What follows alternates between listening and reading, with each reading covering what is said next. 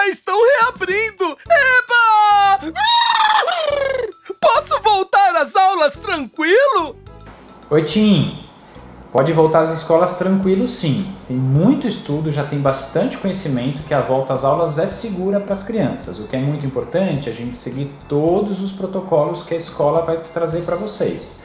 Então, usar máscara, lavar bastante as mãos. Então, é importante vocês conversarem com o papai e com a mamãe sabendo que a escola está fazendo tudo direitinho, pode voltar tranquilo. Tem muito, muito estudo. O tio Paulo estudou com um grupo de outros médicos para deixar vocês tranquilos. Com cuidado, Vamos voltar às aulas felizes.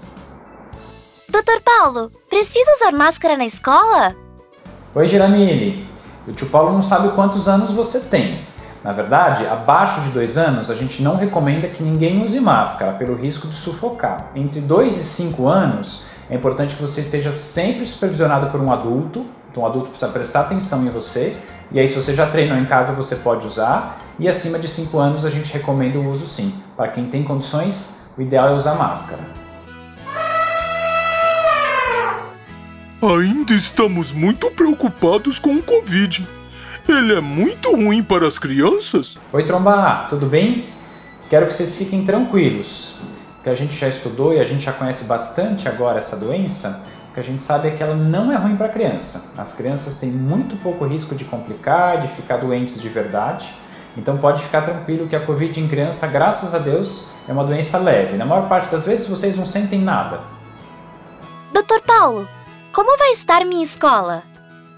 Oi, Giramile. Ah, isso é importante da gente falar para vocês não se assustarem.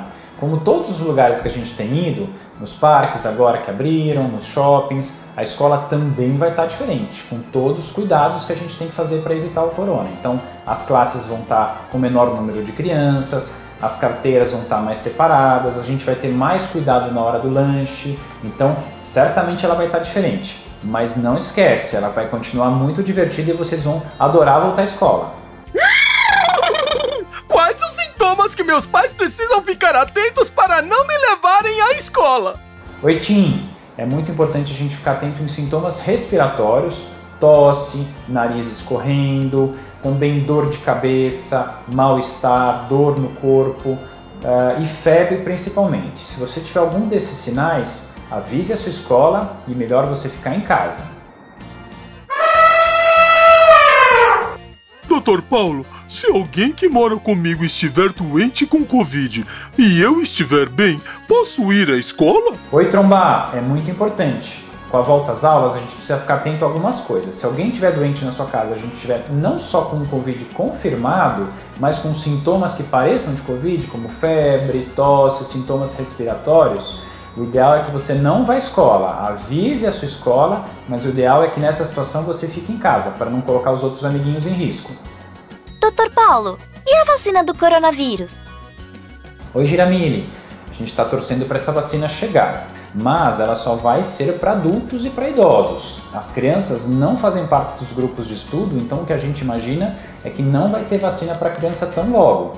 Provavelmente só a partir de 2021, final de 2021 ou 2022. Então, é importante a gente tomar todos esses cuidados que a gente conversou, porque as crianças não podem mais ficar fora da escola. Tem um monte de outro problema para vocês de ficar fora da escola, não é verdade? Doutor Paulo, e os professores que trabalham na escola estão correndo risco? Oi, Tim. A gente tem que se preocupar bastante com os professores. A gente falou das crianças, mas os professores também a gente tem que se preocupar, não é? O que a gente sabe é que seguindo todos os protocolos, professores e os outros funcionários da escola estão seguros sim. Então, uh, o que se mostra em estudos é que se a gente tomar todos os cuidados que a gente conversou sobre o uso de máscara, de lavar bem as mãos, de manter o distanciamento dentro da escola, os professores podem voltar tranquilos. Preciso estar com todas as minhas vacinas em dia para voltar à escola? Oi, Giramili, com certeza. Eu sei que ninguém gosta de vacina, mas as vacinas são muito importantes, não só nessa época do Covid, o importante é que a gente sempre esteja com as vacinas atualizadas, então conversar com o papai e com a mamãe para que eles atualizem sua carteira antes de vocês voltarem às aulas. Doutor Paulo, estou preocupado em levar o Covid para casa. Oi, Tromba. Na verdade, existe esse risco, mas o que a gente já estudou é que crianças abaixo de 10 anos, elas têm muito menos chance de pegar o Covid, de pegar o coronavírus, e também elas provavelmente transmitem muito menos do que os adultos. Então a gente fica mais tranquilo com vocês indo à escola do que com os adultos encontrando, por exemplo, para ir trabalhar. Obrigada, Dr. Paulo. Mili, mili beijos pra você. Vamos assistir o próximo filminho? Sim! Inscreva-se em nosso canal e não se esqueça de dar o seu joinha.